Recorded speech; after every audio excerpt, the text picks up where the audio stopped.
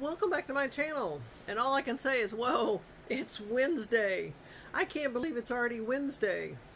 I have not had enough time this week to accomplish everything I need to. But today is Wednesday.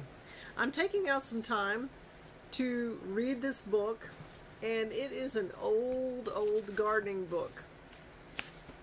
It's called Reader's Digest Complete Book of the Garden.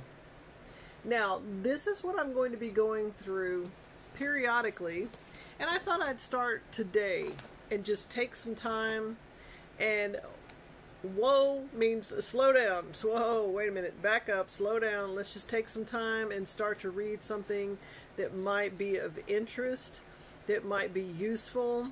This book was uh, printed in late 1966 so it's been around a long time. As you can see, it's been well used, but it has a lot of information in it.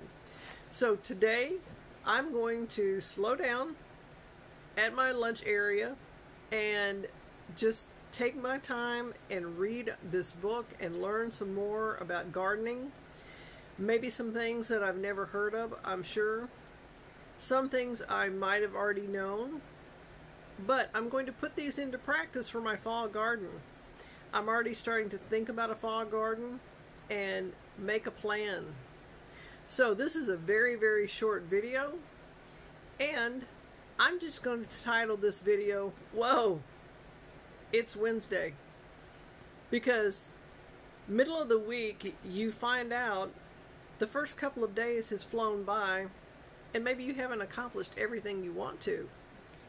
Also, I'm going to make sure and look at those grocery ads because in my area, all the ads change on Wednesday morning. And some of the stores in my area, I'm not sure if you have it, they have double ad Wednesday, which means the ad for today, the sales for today, and the sales for yesterday you can purchase. So you can get double deals whatever's the best price is what they give you, which is great.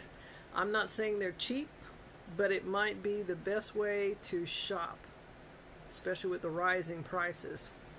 Well, come back next Wednesday to Whoa, it's Wednesday, and see what else we can stop and look at to make sure we don't miss any of the deals, that we make sure we don't miss anything around your home or your prepper pantry. In the comments below, let me know if you take a few minutes around lunchtime to stop and kind of reevaluate for the rest of the week. So enjoy your whoa, it's Wednesday.